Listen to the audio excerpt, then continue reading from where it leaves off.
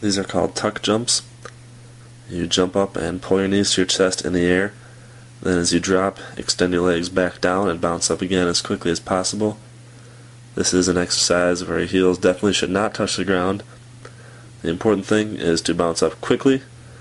Uh, you want to try to get as high as you can, but focus more on the speed. You can also do these with some forward movement uh, using some type of objects as barriers to hop over, and those are typically called the barrier hops or barrier jumps.